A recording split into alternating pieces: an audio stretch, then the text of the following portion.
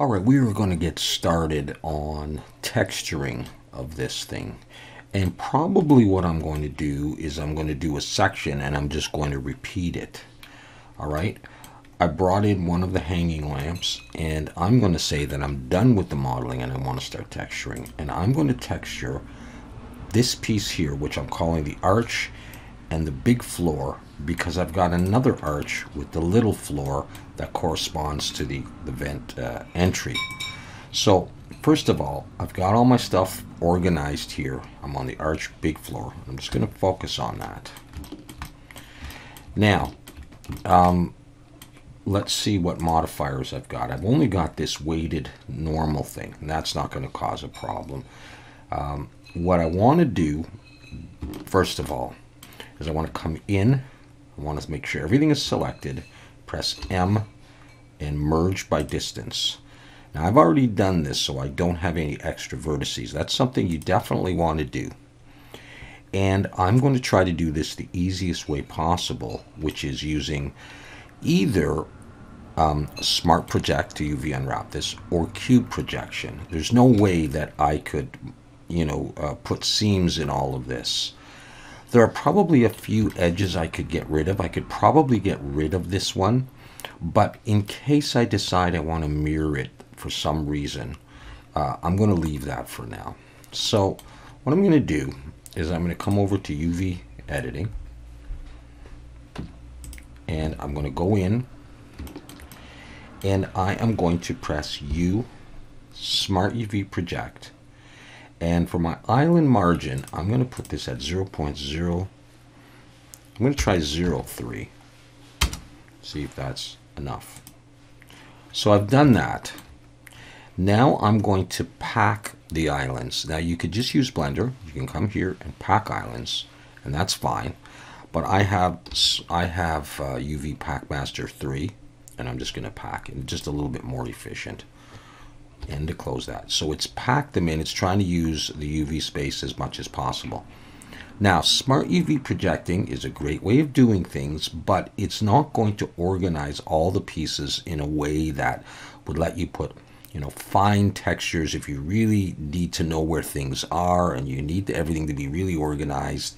It's not ideal, but for sort of a procedural kind of a texture, it should be fine. All right, so I'm going to try this and see how well it works. So I've smart UV projected, there's no seams, I've packed it. I'm gonna go back into object mode and I export this. So I go File, Export, FBX, find a place where you want to keep this.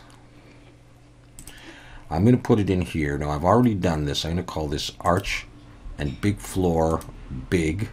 I'll call this video. And click on selected objects. I just want to export just that and export. Then I'm going to save and I'm going to head over to Substance Painter. In Substance Painter, now I may have a different version than you. I'm going to open that up. Press New. I'm going to leave everything here. Select. There it is. Open. OK. Give it a minute, and there it is. Now, if it ever comes in looking like this, almost invisible, it's because some of your polys are flipped. I probably won't be able to see any problems in this view. I'm going to have to bake the mesh maps before I can see that, and then that will be very important. So let's go ahead and do that under the texture set list. I'm going to scroll down, choose bake mesh maps. I'm going to choose 2K, uncheck ID, I don't need that, and bake.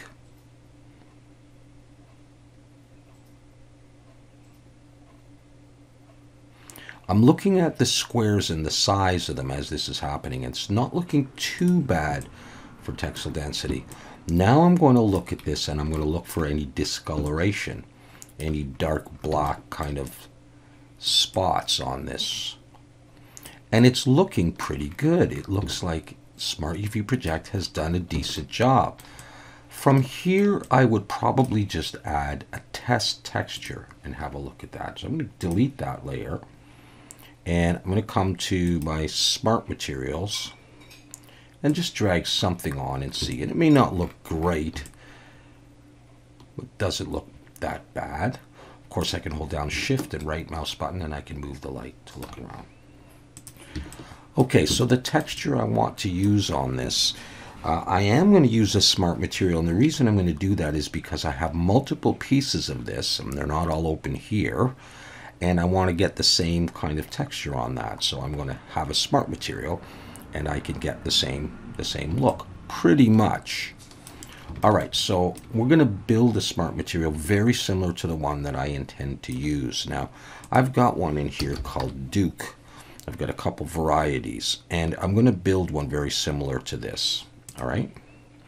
And so the way I'm going to do this is I'm going to use a metal, and I'm going to start with steel rough. Drag that in, and that'll go on there. And I may choose to change the scale what if I made this three? Hmm. I'll go with two.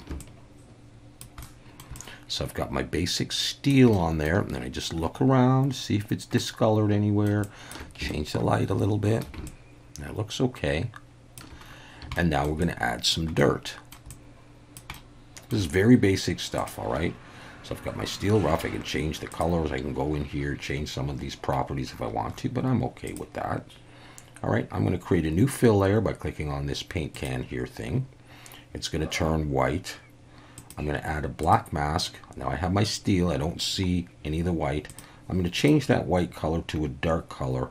I really only need color, so I, I just alt-clicked, and that selected just the color. And then I'm going to click roughness as well. I'll have roughness. I'm going to drag the roughness all the way up because it's going to be dirt. And I click on the base color, dynamic, go to a brownish kind of color. Dark, it's almost going to be black anyhow. I'll just choose something like that. Come back to my layers, click on the black mask, and I'm going to click on the magic wand, add generator, and properties of the generator. Click on the generator, I'm going to choose dirt. And that's going to grunge it up. From there, you can adjust the, the, how much dirt. I want a good amount of dirt. I want it nice and dark like that. And that's really going to make this stand out really nicely. Then just have a look around, change your light, see how everything's looking. That looks nice and grimy and oily, dirty for the inside of the air shaft. I mean, think of the, the dirty air that's going to be in there all right? And it darkens it up in here so it looks like you know you don't even see the bottom which is exactly what I wanted. So I think that looks excellent. And then I'm going to add some scratches to this. All right? Now most people would probably name these layers. So I'm going to click here and I'm going to add another layer. I'm going to add another fill layer. Click here. And I'll change the color right away. I want my scratches to actually have a color we're going to have color, so I'll click color, and I want height. I want my scratches to be indented a little bit. I'm going to change the color to sort of a blackish color here. Now, everything's gone black because I don't have a mask on. Not everybody wants to have color for their scratches. They just want a, a change in height, but I'm going to do it this way. I'm going to drop the height down just a little bit. You can change this layer later. Now I'm going to add a black mask. So that scratches layer seems to be gone. And in the black mask here, I'm going to click on the magic wand and choose fill. I'm going to add a fill layer to this. I'm going to come to properties and you can see I've got this slot here for grayscale. For the scratches, I'm going to click on procedurals and I'm going to search for scratches. And there's a few different ones here, but the one that I like is this last one these grunge scratches. I'm just going to drag that over to there and that will put the scratches on. From here, you can adjust the balance, the quantity, the tiling, all kinds of, of, of you know parameters. Um, but that's basically the effect that I'm going to be going for. So I've got my dirt, I've got my metal, I've got scratches. Now the one other thing is how sharp these look. They're a little bit blurry. All right, and you know that's because the way I UV unwrapped it, I didn't use a lot of the texture space in the UV um, for this area. All right. And so one thing you can do is come up here and look and say, well, I'm only using 1024. I'm going to change that to 2K. My computer can't handle 4K that well, so 2K should be good enough. Do that. Give it a moment. Now they're a lot sharper. So now I've got 2K texture there. I'm just going to do that throughout my project. And that is good enough for me. That's really what I want. All right. At that point, I can export that out, those textures. The first thing you should do though is save this. Then you come up to File, Export Textures, and you notice that I've got this called Wall Arch Floor right over here.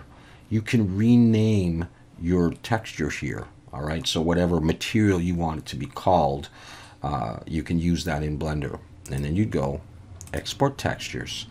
And under Output Templates, um, I generally, I have one here, PBR Metallic Roughness. It's got the base color, roughness, metallic, normal, height, and it's got a emissive if you happen to need it.